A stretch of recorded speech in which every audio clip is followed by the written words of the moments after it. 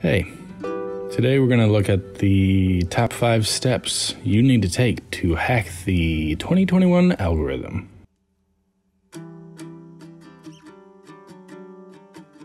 Step 1 Download the algorithm.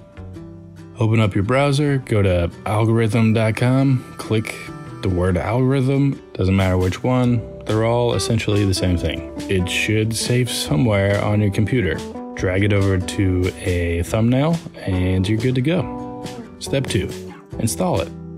Alright, so uh, go ahead and open up your head, take that flash drive, and just plunge it in, you know, anywhere. Really works. May take a few minutes to get adjusted to all the ones and zeros, but should be up and running in no time. Step 3 Camera in your forehead. Preferably an iPhone or GoPro, but if you can't find one of those, pretty much anything that can take videos. All right, so you're just gonna grab it and shove it into the center of your forehead. Might hurt for a little bit, but uh, it's worth it.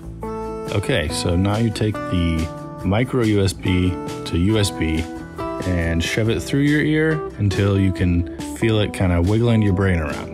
Keep shoving it a little more until you hear a click. Now your algorithm can see through your camera. Step 4 Make a new account. Make sure when you choose this username, it sounds like something a human would choose. Something about puppies or you know, sports teams. I don't know. I don't care.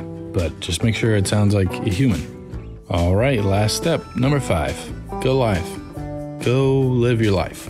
That's it. That's all you gotta do.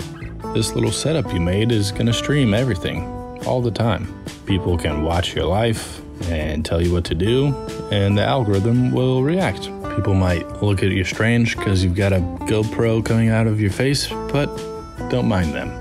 You might feel like you're incredibly stupid and your brain is melting, but uh, yeah, don't don't worry about that. It is probably happening, but don't worry, you're gonna be famous.